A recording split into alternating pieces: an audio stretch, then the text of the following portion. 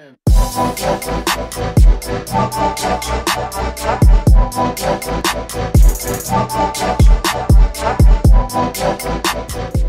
with the cooler weather, I've been in the mood for something comforting, so why not make some chicken stew?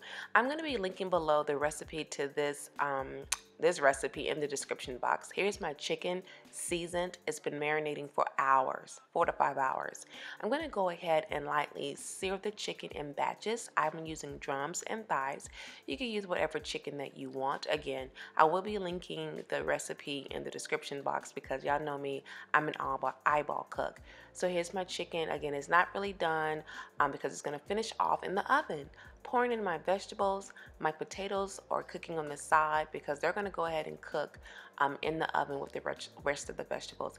You see those pan drippings there? This is what's going to make the um, stew very flavorful. I'm pouring in between three to four tablespoons of flour and then now I'm going to start adding some liquids in a bit. Stirring this up sorry.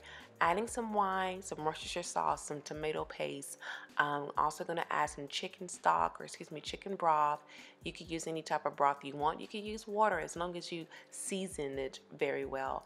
Um, and then two bay leaves and that's it you guys. This is a very very simple stew and it was so good. I ended up serving this with some rice. You can eat it you know, just by itself, but I like to add a little bit more starch.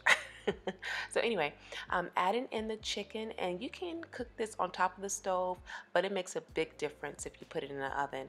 I cooked it in the oven for about 45 minutes. Um, I'm placing my potatoes in because you don't want to have mashed potatoes. So these are almost done, like I said earlier. Like I said, uh, serving it with some rice girl. Um, and that is it, you guys. A very simple dish. I did end up um, turning on the broiler for a good 10 minutes to have it to be a little crispy.